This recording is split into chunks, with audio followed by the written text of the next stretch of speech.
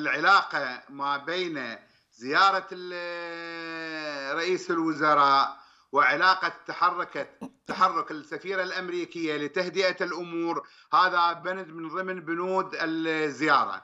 لأنه على السوداني أن يصفر الأزمة ما بين الحكومة الاتحادية وحكومة الإقليم. هذا جانب. الجانب الآخر أن يعمل السيد السوداني جاهدا في تقويض تدخل الإيراني بالعراق وهذا التقويض يأتي من خلال تحجيم عمل الفصائل المسلحة وإطالة آه، الهدنة وهذا ما ترغب به السياسة الأمريكية.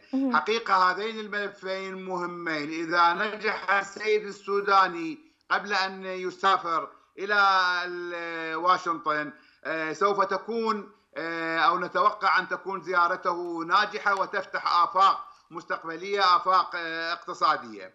وهنالك ملف مهم آخر وهو عملية الاجتماعات الثنائية ما بين الحكومة العراقية وقوات التحالف وما تسفر من نتائج.